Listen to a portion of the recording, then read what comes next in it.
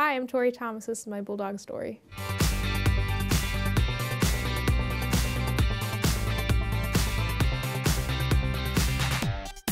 I'm majoring in music industry management.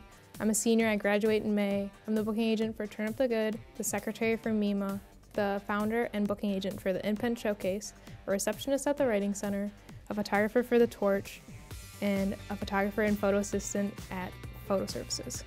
I've been interested in music by listening to music. At the age of 14, I went to my first concert, and then I dipped into street teaming uh, with Fueled by Ramen and various other record labels. Outside of Ferris, I still promote on the street team. I go to concerts and I take pictures, so I'm a concert photographer for um, Under the Gun Review, which is a music review website. There's a lot of aspects to planning a concert. You first have to think of where the location is, and then the date and what time. And then you have to start thinking about the artists. Who will you come see, and what draws a crowd? And you have to think of the consumers, the people who want to listen to the music. And then you think of the promotion aspect. Promotion is the most important part of a concert. And then you have to think of like what kind of things do the bands need, um, the stage equipment that they need, and then what kind of merchandise do you want to sell? Do you want to sell promotional items or do you just want to give out things for free? And the artists that you get are what people want. My goal after graduation is to go to a booking agency but still do photography. I love photography that it holds a special place in my heart. My favorite experience is probably all the shows that we've put on. That's like the main reason I came to Ferris is because of the live aspect.